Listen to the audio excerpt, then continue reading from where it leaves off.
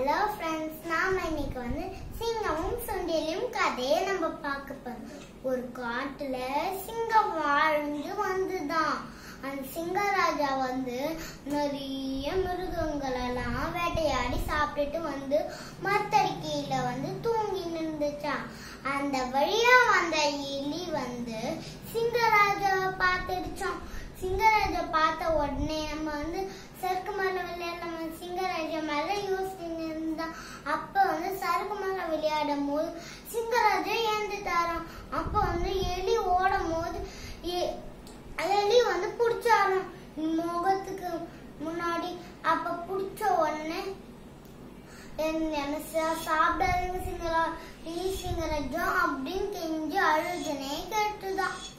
அப்ப வந்து நீ நீங்க என்ன சாப்பிட்டா கூட உங்க வயிறு ஃபுல்லாகாது அப்படின்னு சொல்லிட்டு விட்டுட்டாராம் விட்டுட்டோன்னு விட்டுட்டோன்னு நிறைய நாள் கடந்துருச்சான் அப்ப வந்து சிங்கராஜா சிங்கராஜா வந்து ஒரு வேடன் போட்ட வலையில மாடிக்கினாராம் அப்ப வந்து வே வே- வேடன் போட்ட வலை வந்து நல்லா கனமாவும் இருந்ததாம் அப்ப வந்து சிங்கராஜா வந்து கஜுக்குனாரா அப்ப வந்து எலிக்கு அந்த சத்தம் கேட்டுதான் எலிக்கு அந்த சத்தம் கேட்டா ஓடி வந்து ஒரு கூரான பல்ல வச்சு அத வந்து கிழிச்சிடுச்சான் கிழிச்ச உடனே சரி சிங்கராஜா நாம அப்புறமா சந்திக்கலாம் அப்படின்னு சொல்லிட்டு போயிடுச்சான் போ- போகும்போது நீ- ஏய் எலியே நில்லு.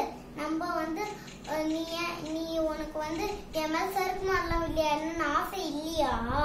அப்படின்னு கேட்டுச்சான் எனக்கு ஆசை இருக்குன்னு நீங்க ஒத்துக்கிறீங்கன்னா நான் வந்து உங்க- உங்க மேல விளையாடுறேன் நான் ஒத்துக்கிறேன் அப்படின்னு சிங்கராஜா சொன்னாராம் சிங்கராஜா சொல் சொல்லும் போது சிங்கராஜா சொல்லும் போது சரி நானும் விளையாடுறேன் அப்படின்னு சொல்லி படுத்தாராம் அப்ப வந்து நல்லா விளையாடிச்சான். அப்ப வந்து இது ரெண்டு பேரும் ஃப்ரெண்ட்ஸ் ஆயிக்கினாங்கண்ணா.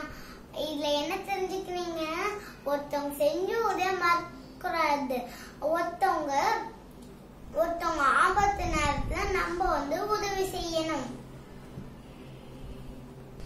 இதுதான் இந்த கதையோட கருத்து.